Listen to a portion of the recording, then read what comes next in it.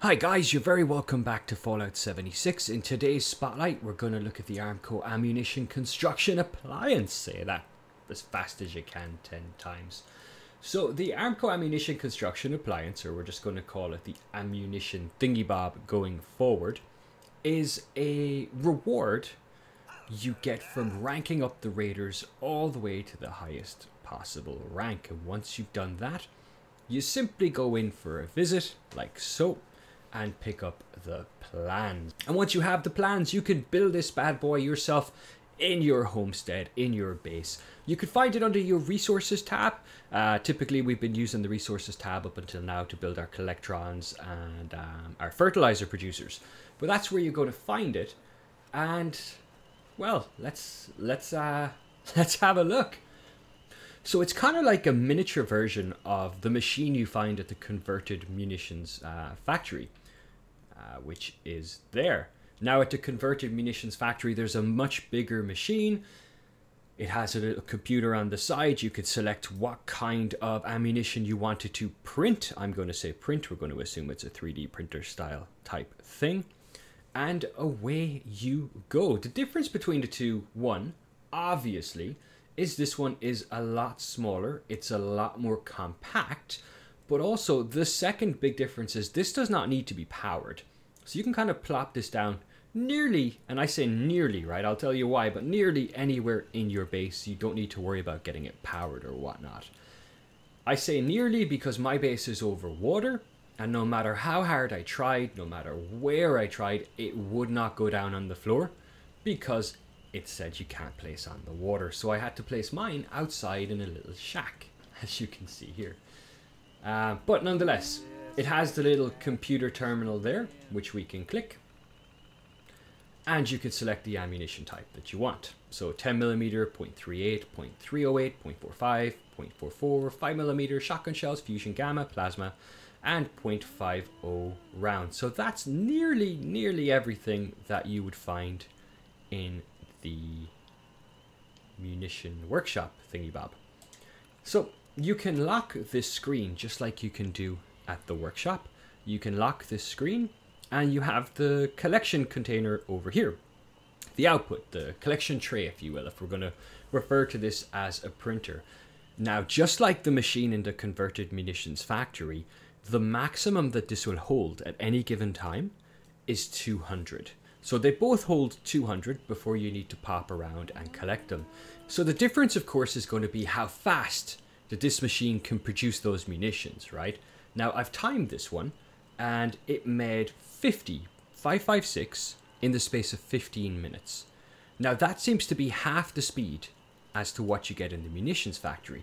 I've seen 100 in the same 15 minute period. So this machine works twice as slow as the munitions factory, but holds the same capacity. So I guess no matter what way you want to look at that, right? At the munitions factory, yes, it's twice as fast, but you have to hold the munitions factory itself, right? You're you're going to constantly be dealing with uh, PvPers. As soon as they see you've got a workshop up there, they're going to come up. They're going to want to take it. So at least here you have this in the safety of your own base, but that's still very slow going. 200 556 in an hour. So over the course of a of a day, if you've managed to find enough stuff to keep yourself busy for an entire day, then yeah, you you're gonna probably pop in a thousand or so. It's not great. It's certainly not what I would expect from all the grinding that you have to do on Raider reputation in order to get this. This been the top prize. This been the ultimate, the pinnacle of what you can achieve from Raider reputation. I'm kind of a little let down it's great that I have something in my base that will passively create ammunition for me. That's fantastic. Every time I drop by, I'm going to have 200 more 556, which to be honest, a lot of my ammo, I'm just taking it out and I'm popping it straight into the shop here. So I'm going to make um, some caps from it. That's great, but I was hoping for so much more. I was thinking back to the to the Fallout 4 days, you know, um, where you might have a machine like this connected to, say, a junk collector, which will then go into a junk scrapper type thing and break everything down to its core components and then go in here and then print the ammunition and then output that into multiple collection trays. So perhaps, you know, we could add multiple different collection trays, meaning each one would hold 200, and so we could leave our base alone and come back and have maybe a thousand to collect. Or make a whole munitions factory, you know? So, make, make it difficult so the different components we need to grind out, sure. But um, I, I will say I'm very, very disappointed that this is it. This is what you get at the end of that grind. Again, great to have. Just nothing special. I mean, for, for what it's giving you in the hour, 200, 556, it would take me less than five minutes to, to go out onto the map and gather the components to, to craft four or 500, 556, you know? It's nothing special. But as I said, considering it's just sitting at your base anyway, you're getting 200 an hour for absolutely nothing. I just think it could be a lot better. So it's there. It looks the part, especially I think side by side with the shop. I just wish it could interconnect with something else and could do something a little more. Um, it would actually be a good case for the scrap kits as well, right? That they're selling, but if you, um, I guess if there was a, multiple ways to earn scrap kits, again, as part of the whole grind and whatnot, that you're out in the world and you could have you could be able to scrap a kit that scraps your stuff right back into the ammunition collector thingy bob, which will then start making munitions while you're out and about.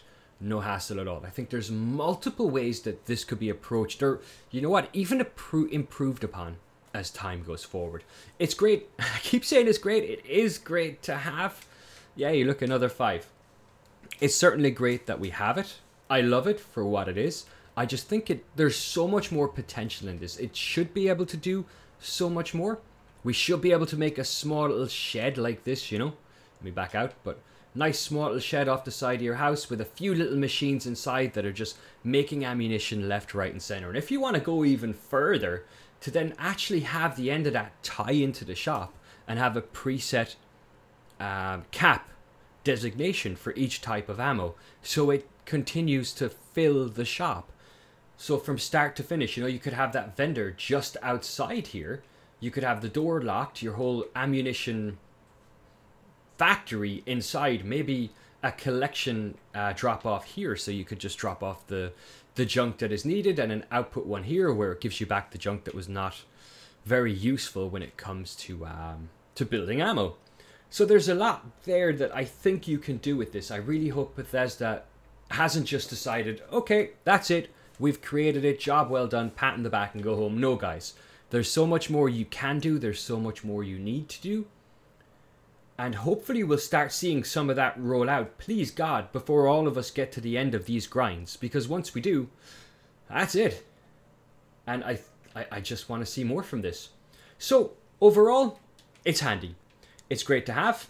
I, I'm going to enjoy it. I'm make sure I come back to my base every hour or so and pop whatever's there in here great. You know, if someone pops by and uh, grabs some 556 ammo off me, I think I've got nearly 2,000 in there now.